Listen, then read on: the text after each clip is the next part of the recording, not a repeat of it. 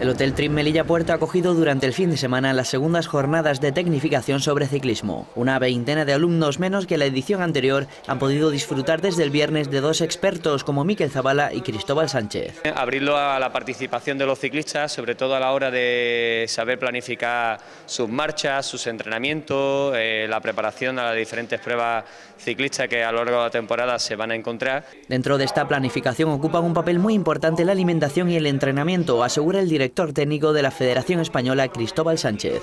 Eh, no se trata de comer mucho o poco, sino eh, comer lo que se tiene que comer en el momento adecuado y con las características adecuadas. Lo importante es tener una, mm, un programa, una planificación, un proyecto eh, de qué es lo que queremos hacer, dónde queremos llegar y cuáles son nuestros objetivos. Y en función de eso y el espacio, el tiempo, lo que tengamos, pues establecerlo. Gracias a la buena acogida que está teniendo el triatlón en la ciudad y pruebas como la segunda carrera de la Legión en Merilla, está habiendo un crecimiento de la afición por este deporte, pero solo a nivel popular. La profesionalización del ciclismo está sufriendo con la crisis. Lo que es eh, el mundo del ciclismo cada vez hay más adeptos, más participantes.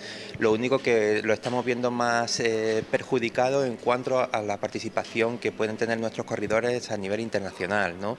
Pues porque tiene un coste económico del cual pues las subvenciones hoy día están siendo más limitadas.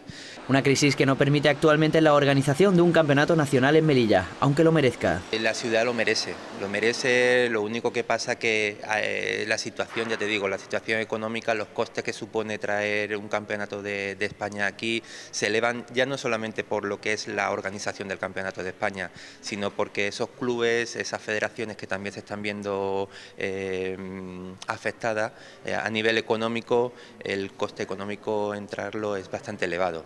Por 10 euros los participantes pudieron ponerse al día sobre todo lo que rodea la planificación de esta disciplina deportiva.